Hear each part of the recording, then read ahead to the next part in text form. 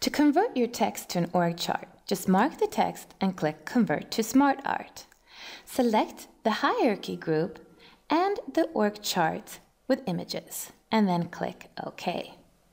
To change the position of a person, just cut the text and position the pointer on the person he or she will report to. Click Add Shape.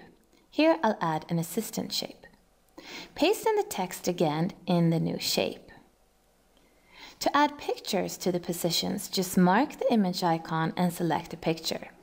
Do the same for all the people in the org chart. Finally, you can add a nice design. Click Design and select a nice 3D design from the art gallery. And here you have your org chart.